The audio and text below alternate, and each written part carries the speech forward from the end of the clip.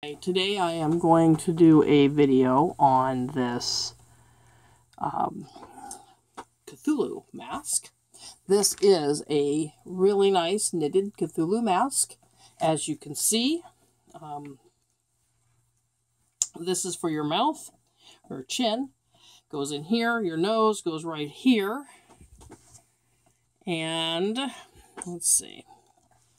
See that? And then your eyes go right there. And you have a mouth hole right there. And you have lots of pretty little Cthulhu tentacles that sit down so that when you're wearing it, it looks kind of like that.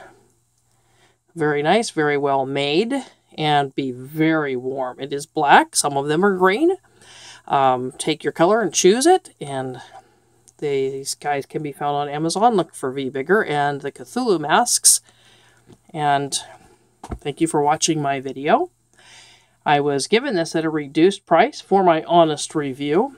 It's extremely well made, and I appreciate you watching. All opinions are my own.